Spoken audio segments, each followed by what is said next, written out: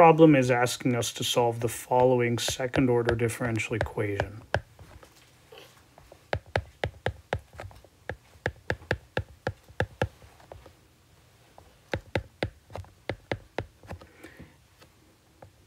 With the boundary conditions,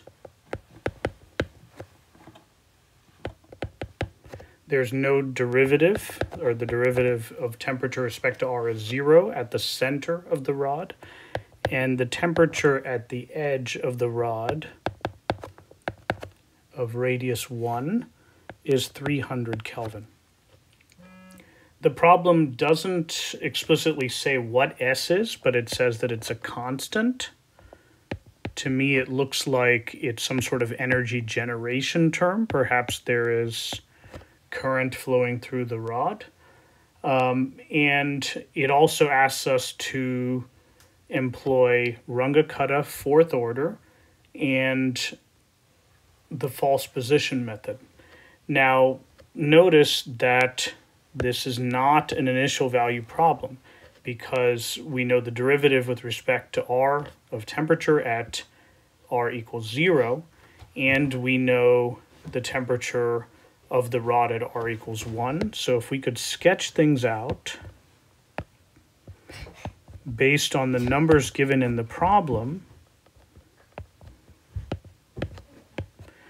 we are told that the center of the rod has a temperature somewhere between 300 and 400 Kelvin.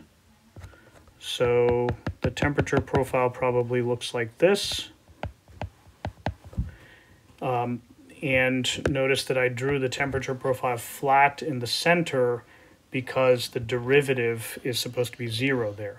This is often true when you have axial symmetry in a cylindrical geometry. So the overall steps that we have to take is we have to actually guess alpha um, and then calculate the temperature profile.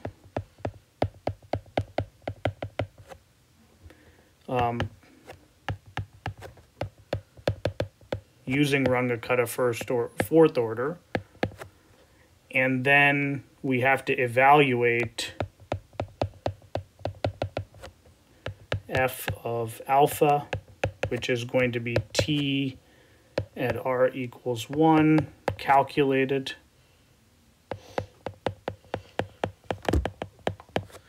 Minus the temperature that we know to be correct, which is 300. So in fact, this is the shooting method,